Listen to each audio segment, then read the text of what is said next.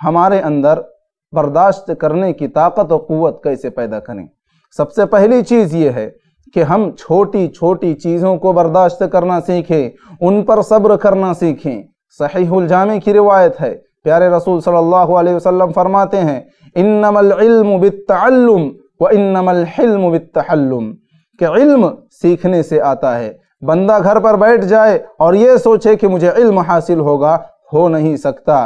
कोई ये सोच ले कि मुझे इल्हाम के ज़रिए से इल्म हासिल हो जाएगा हो नहीं सकता। इल्म हासिल करना होता है। इंसान को मेहनत करनी होती है, वक्त लगाना होता है, तजुर्बा हासिल करना होता है, तब जाकर इंसान को इल्म हासिल होता है। और फरमाया इन नमल हिल्म कि बर्दाश्त करना अपनाने से आता है। अगर छोटी छोटी चीज़ों को हम बर्दाश्त करना सीखेंगे तो अल्लाह की तौफीक से बड़ी चीज़ों को भी हम बर्दाश्त करना और उन पर सब्र करना सीख जाएँगे।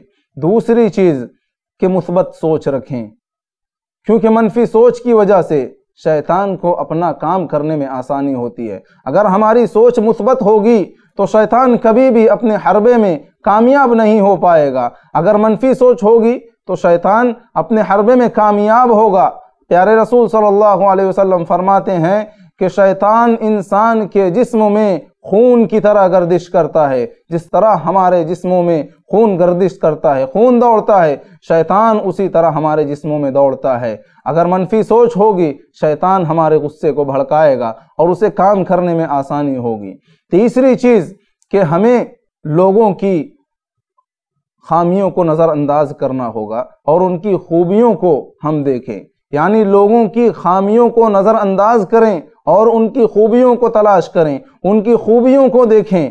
ऐसा करने की वजह से हमारे अंदर सब्र तहमुल पैदा होगा। सब्र पैदा होगा, बर्दाश्त करने की ताकत पैदा होगी। हातिब बिन अबी बलता रदी अल्लाह बदरी सहाबी हैं, बदर में जिन्होंने शिरकत की, जंग की। अल्लाह के रसूल सल्लल्लाहु अलैहि वसल्लम फ़तह मक्का से चंद अयाम पहले हुक्म देते हैं कि तैयारी कर ली जाए, अब मक्का वालों के ऊपर चढ़ाई करनी है। जंग की तैयारी का अल्लाह के रसूल सल्लल्लाहु अलैहि वसल्लम हुक्म दे देते हैं। हातिब बिन अबी बलता रदी अल्लाह एक ख़त लिखते हैं, ताकि मक्का के मुशरकिन को आगाह कर दें कि मुसलमान हमला करने वाले हैं। अल्लाह के रसूल सल्लल्लाहु अलैहि वसल्लम को वही के ज़रिए ख़बर कर दी जाती है। वो औरत जो ख़त लेकर जा रही थी, हज़रत अली रदी अल्लाह और देगर सहाबा, उसे पकड़ कर लाते हैं। सहाबी रसूल को प्यारे रसूल सल्लल्लाहु अलैहि वसल्लम बुलाते हैं और पूछते हैं कि तुमने ऐसा क्यों किया? वो कहते हैं कि मेरे जो अहल खाना हैं, मेरी आल औलाद मक्का में हैं। और मैंने ये ख़त लिख कर उनको ये आगाही इसलिए की ताकि वो मेरी आल औलाद पर एहसान करें और उन्हें किसी तरीके की तकलीफ़ ना दे। उमर रदी अल्लाह खड़े होते हैं और कहते हैं अल्लाह के रसूल सल्लल्लाहु अलैहि वसल्लम, आप हुक्म दे दीजिए, मैं इस मुनाफिक की गर्दन को उड़ा दूँगा। अल्लाह के रसूल सल्लल्लाहु अलैहि वसल्लम फरमाते हैं कि अय उमर, क्या तुम नहीं जानते कि ये इन्होंने बदर में शिरकत की थी? ये बदरी सहाबी हैं और अल्लाह रब्बुल आलमीन अहले बद्र के हालात को पहले से जानता है। ज़रा गौर करें, अल्लाह के रसूल सल्लल्लाहु अलैहि वसल्लम ने इस खामी को नज़रअंदाज कर दिया और जो बद्र में उन्होंने शिरकत की थी, अल्लाह के रास्ते में जंग की थी, उस खूबी को अल्लाह के रसूल सल्लल्लाहु अलैहि वसल्लम ने देखा और उसे बयान किया। चौथी चीज़, अच्छे लोगों की सहबत इख्तियार करें, क्योंकि सहबत का इंसान के ऊपर असर होता है। अगर अच्छे लोगों की सहबत इख्तियार करेगा तो अच्छा होगा, अच्छी सिफात पैदा होंगी। अगर बुरे लोगों की सहबत इख्तियार करेगा तो बुरा होगा और बुरी सिफात पैदा होंगी।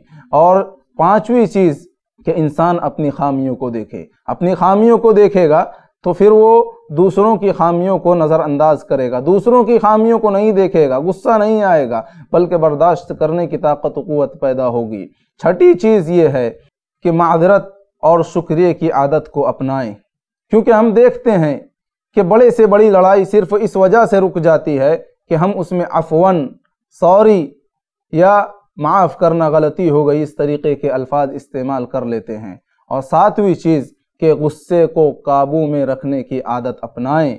अगर गुस्सा आ जाए तो अऊदबिल्लिमिनशैतानरजीम पढ़ लिया जाए, या वज़ू कर लिया जाए। अगर खड़े हों तो बैठ जाएँ, और अगर बैठे हों तो लेट जाएँ। इस तरीके से हम सब्र तहमुल को अपना सकते हैं, अपने अंदर पैदा कर सकते हैं। ऐसे ही और वीडियोस बनाने में हमारी मदद करें।